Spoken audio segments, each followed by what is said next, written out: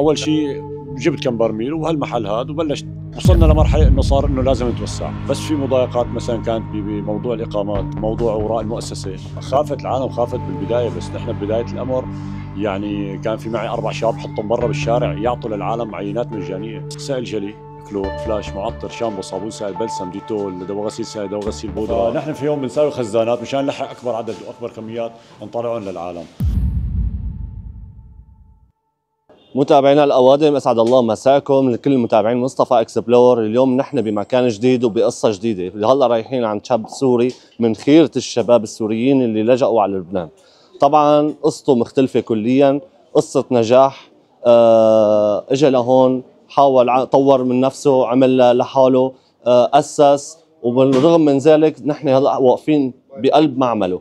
فراح نفوت لجوا ونتعرف على أبو عمر ونعرف تفاصيل قصته وكيف اجى على لبنان. وكيف طور من حاله؟ شيء بداية نعرف عليك أبو عمر. حبيبي حبيبي مصطفى الله يسعدك. أبو عمر السرية من سوريا. شو صار لك هون بلبنان؟ نحن صرنا تقريبا شيء ثلاث سنين ونص تقريبا، نحن هلأ بالنسبة لمصلحتنا الأساسية هي من من زمان وهلأ يعني من 2003 لليوم هذا، يعني مصلحتي أنا وأخواتي وأهلي كلهم نشتغل بنفس المصلحة هاي. يعني أنت من البداية جاي حاط براسك من سوريا إنه خلص مصلحتك بدك ترجع تكررها هون.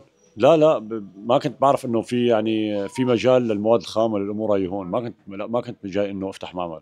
أنا جاي أشوف الوضع هون شو هو وعلى أساسه أمشي. أول شيء جبت كم برميل وهالمحل هذا وبلشت يعني أنا أسعى إنه شو إنه أفتح طريق إلي مع تجار مع عالم مشان أنا أصير يعني إلي اسم بالسوق إلي وضعي. كانوا أخواتي معي كانوا أخواتي موجودين معي بالمحل هون. وصلنا لمرحلة إنه صار إنه لازم نتوسع لازم نتوسع. فأخواتي فتحوا فرع لحالهم وأنا ضليت لحالي مشان نضل مسيطرين على الوضع. نحن هلا عم نشوف على البيدونات اللي بالرف اللي وراك اسم السريه يعني اسم عائلتكم. صح. مزبوط؟ صح. آه هي هيك فجأة لزقتها ولا عملت إجراءات لحتى قدرت تفتح؟ أكيد ما فيك أنت تيجي تحط اسم من الهواء يعني. أكيد في محامي في مؤسسة في غرفة تجارة في وزارة صحة في ألف قصة نحن عملناها مشان نوصل لهالشيء هذا يعني اسم له حماية ملكية له له كل شيء. هلا بالنسبة للمضايقات يعني شخصية ما في مضايقات شخصية ما في. بس في مضايقات مثلا كانت بموضوع الإقامات موضوع أوراق المؤسسة آه، بدك كفلاء بدك آه، أشخاص مثل هيك مثلا تكفلك أو كذا. آه، فلحتى وصلنا للشخص الصح اللي هو محامي يعني هو اشتغلنا بأمورنا كلها. شو ردة فعل أهل المنطقة اللي حواليك؟ هلأ بالبداية استغربت العالم كثير بس بالنسبة للوضع المادي أو الأزمة المادية انجبرت العالم. ما حدا متعود ياخذ هيك شغلة بالكيس ودواء غسيل وفول وقصص. لا لا لا خافت العالم خافت بالبداية بس نحن ببداية الأمر يعني كان في معي أربع شباب حطهم برا بالشارع يعطوا للعالم عينات مجانية. بس هلأ الشغلات الأساسية عم نشتغلها نحن 18 أو 20 مادة اللي عم نشتغلهم اللي هن سائل جلي كلور فلاش معطر شامبو صابون سائل بلسم ديتول دواء غسيل سائل دواء غسيل بودرة آه، جيل عملاق ملمع الومنيوم آه، فوم للسجاد فوم للسيارات. ملمع دواليب ملمع تابلو شغلات هالأمور ملمع بلور يعني أي مادة. بالنسبة حافظونهم كل هدول بالنسبة للأمور نحن بنشتغلها كلها يعني كل شيء موضوع بتعلق بست البيت أو بمغسل سيارات أو بمطعم نحن بنشتغله. طيب خلينا نكون واقعيين شوي. مواد التنظيف لست البيت أكيد ضروري. يعني أهم خمس أنواع شو هن وقديش بيطلع تكلفتهم مثلا؟ هلأ سائل جلي كلور فلاش معطر. ومثلا بدك صابون سائل مثلا. إيه. بلا صابون سائل. دواء غسيل خلينا على العملي. دواء غسيل دواء غسيل مثلا خمس أصناف هدول. إيه.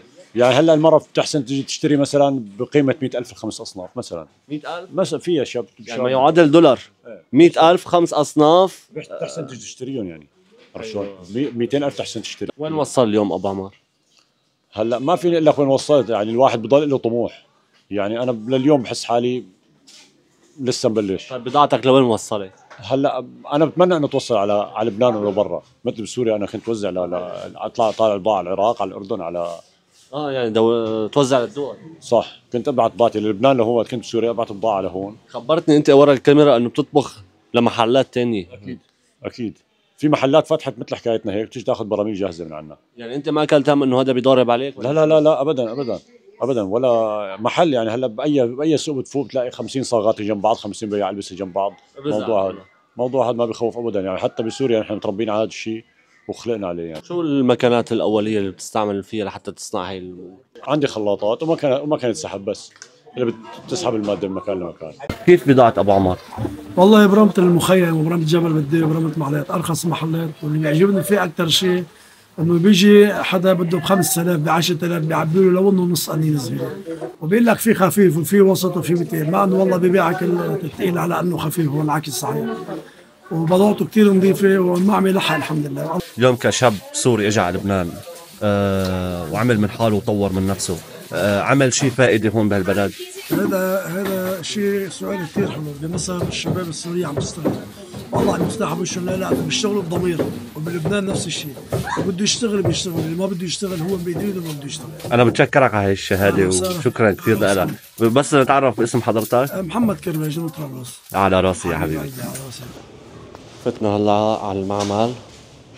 مطرح ما بيجهزوا نشوف أبو عمر شو نسأل أبو عمر. أبو عمر شو في هون؟ حبيبي يا مصطفى هلا هون بالنسبة لهون المستودع هذا نحن بنشتغل فيه. نحن بالنسبة لطلبيات جملة في عالم آه، فاتحين محلات بكذا منطقة هون بطرابلس. آه، فبيوصلون على طلبيات محلات جملة نفس انه بيعنا فوق. صار في محلات كثير موجودة برا يعني إذا لاحظت الشيء هذا.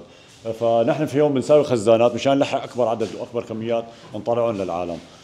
في عالم بتوصي مثلا على سائل جلي كلور فلاش معطر شامبو صابون سائل. طبعا براميل بياخذوا براميل بهالقياسات هي والسيارة الدليفري بتوصلني على محلاتهم. أي ساعة بتفتحوا؟ نحن بنفتح من الساعة 9 الصبح للساعة 7 ونص أو 8 المساء، هون تجهيز هون صح، طلبيات جملة من هون، كل شيء طلبيات جملة بتطلع من هون هذا المحل. هاي البضاعة عم بلشوا تجهيزها من سائل جلي ومعطر وحسب ما عدلنا.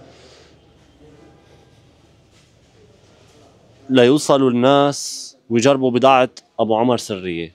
شلون بده يوصلوا شلون بده يتصلوا؟ خبرنا خبر المشاهدين لو سمحت. هلا نحن في عنا أول شغلة نحن موقعنا مخيم بالداوي شارع الفوز بناية أبو علي فارس معمل أبو عمر سلم موظفات، أنت من أي جهة بتفوت من من على المخيم؟ من أي جهة؟ مين ما سألت؟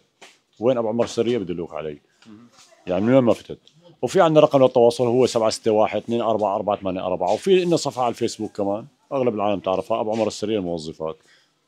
حبايبنا الأوادم هلأ خلصنا عند أبو عمر سمعنا اللي بدنا نسمعه ونهاية الكلام هي القصص النجاح اللي بدنا نسمعها ناس عم تشتغل عن حالها ناس عم تشجع ناس عم تكون سفيرة سفيرة لبلدها بكثير أمور. كل واحد ضمن اختصاصه كل واحد ضمن مصلحته موهبته.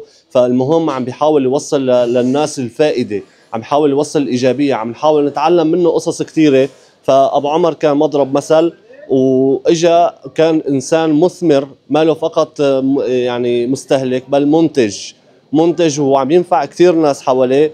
وأهم شيء نقل موضوع آه، تعباية بالكيس. هي كانت ما موجودة إلا بسوريا. طبعا أيام البركة أيام الخير. وإن شاء الله بترجع هالأيام. وانطروني إن شاء الله بحلقة جديدة وبقصة جديدة. وكان معكم مصطفى إكسبلور من لبنان طرابلس. تحياتي.